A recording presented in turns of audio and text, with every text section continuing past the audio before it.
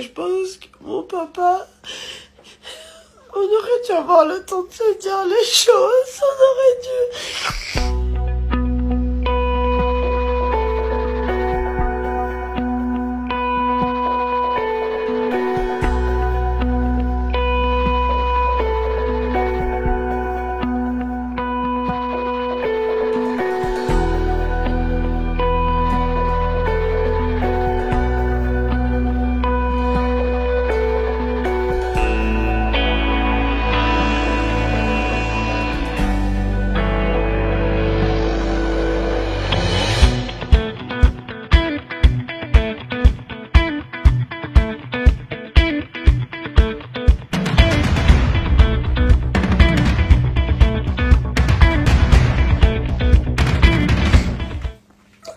Papa, j'ai appris aujourd'hui qu'il était décédé.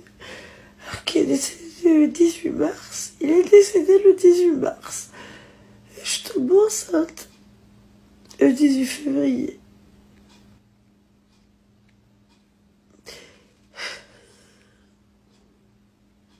C'est compliqué. Alex, voilà, Alex est pas bien, il se sent pas bien par rapport au fait que je me sente pas bien. J'essaie de préserver les enfants, donc là il est parti se promener avec les enfants. Je suis mal à la tête, je suis fatiguée de me prendre ça dans la gueule. Mon papa, j'aurais voulu lui parler, mon père, je voulais lui parler à mon père, je voulais lui dire les choses. La fois que j'ai vu, c'était il y a des années. Il avait vu Léo. Il avait vu Léo quand il était petit. Et comme vous savez, j'ai une petite soeur qui a un an de plus que Léo. Et euh, je suis dégoûtée de l'avoir appris dans ces conditions-là. C'est pas normal que ça se passe comme ça, que je sache un mois et demi après. Ça aurait pas dû se passer comme ça.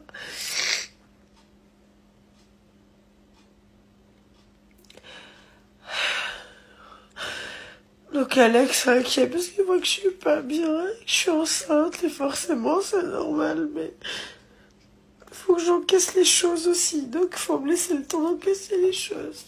Faut me laisser juste le temps d'encaisser les choses.